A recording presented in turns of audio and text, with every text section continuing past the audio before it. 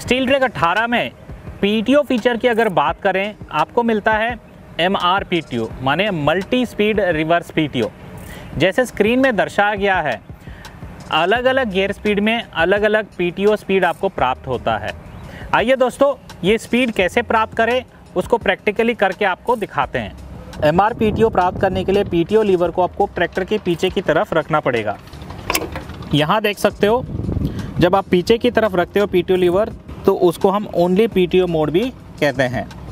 मतलब खड़े खड़े ट्रैक्टर में मल्टी रिवर्स पी का आपको इस्तेमाल करना है तो पी टी ओ लीवर को आपको ओनली पी टी ओ के मोड में रखना पड़ेगा।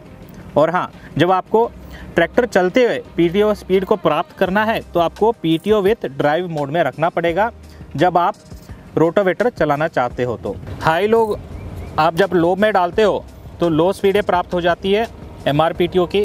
और जब इसको हाई में डालते हो तो हाई स्पीडें प्राप्त हो जाती है। लो वाली स्पीड जब आपको प्राप्त करनी है तो लो में डाल लो और मेन गियर लीवर जब आप पहले गियर में डालते हो तो कितना स्पीड प्राप्त होता है देखिए।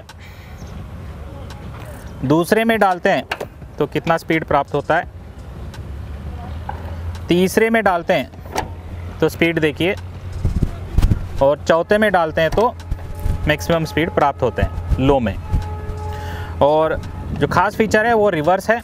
रिवर्स जब आप रिवर्स में डालते हो तो पीटीओ उल्टी दिशा में घूमना स्टार्ट हो जाता है। रेंज सिलेक्शन लीवर को हाई में डालेंगे और इसकी अलग अलग स्पीड मेन गियर लीवर को चेंज करके देखेंगे कैसे प्राप्त होता है। मेन गियर लीवर जब आप पहले गियर में डालते हो तो कितना स्पीड प्राप्त होता है देखिए।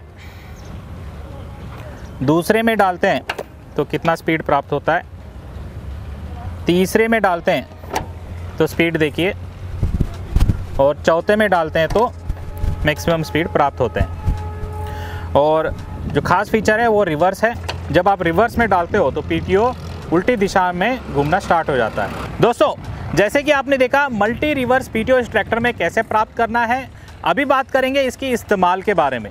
अगर आप रोटोवेटर चलाना चाहोगे, स्टील ट्रैक 18 में तो आप लो के दूसरे का गियर सिलेक्ट करो।